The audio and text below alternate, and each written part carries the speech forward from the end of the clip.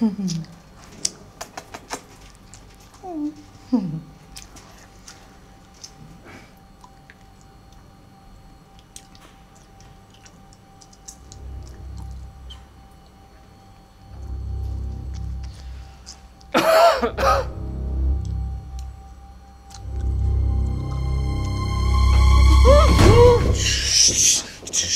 grites que es peor. Te conozco. Nos conocemos. Somos vecinos.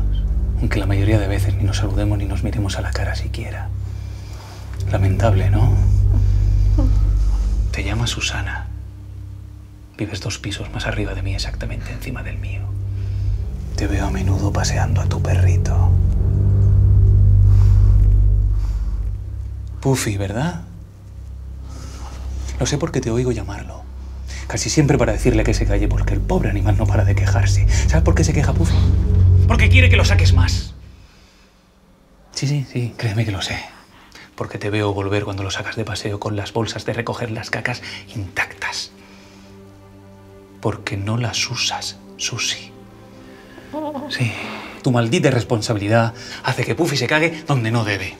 Supongo que la mayoría de veces lo hace en tu casa, pero también lo hacen muchas veces en la escalera del edificio porque lo sacas demasiado tarde, eso sí. ¿Y sabes también para quién es demasiado tarde? Para mí. ¿A ti te gustaría oler a mierda cuando llegas a tu casa? ¿Te gustaría? Pues entonces entenderás por qué te digo esto. Porque estoy harto. Harto de oler a mierda cada vez que abro la puerta de mi casa. Estoy harto de tener miedo de que mis hijos o yo nos podamos caer por la escalera porque pisemos un zurullo de Puffy. Y harto de que la gente no vele por el respeto a la higiene y la limpieza y el bienestar común de todos los que nos rodean. Que soy yo. Eres tú. Somos todos. Que... Tenía que soltarlo.